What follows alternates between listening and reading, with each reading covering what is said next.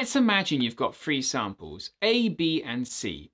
One is a primary, one is a secondary, and one is a tertiary alcohol. To find out which is which, we need to try and oxidize them all and then analyze the products formed. To start with, they would all be heated with acidified potassium dichromate, the oxidizing agent. The primary and secondary alcohols would be oxidized and therefore the dichromate ions present would be reduced and a colour change of orange to green would occur. The tertiary alcohol won't undergo oxidation at all, and this means that the solution will remain orange. The solution that remains orange at the end therefore must be the one that contains the tertiary alcohol.